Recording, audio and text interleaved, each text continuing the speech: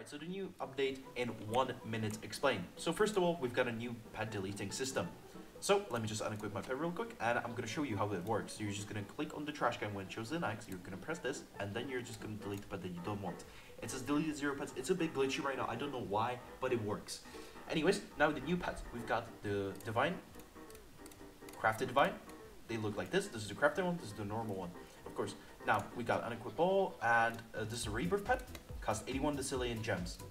Unequip. Then we've got Armored Warrior, which is the legendary of this new egg that came out. And then we've got a crafted uh, Armored Warrior, which looks something like this. And there we go. And that's pretty much it.